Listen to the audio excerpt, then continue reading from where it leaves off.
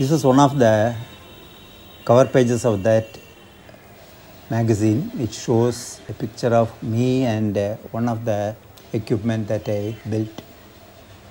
It is 32 plus 14, 46 years ago. And if you look here and here, you will see the difference that 46 years makes to a person.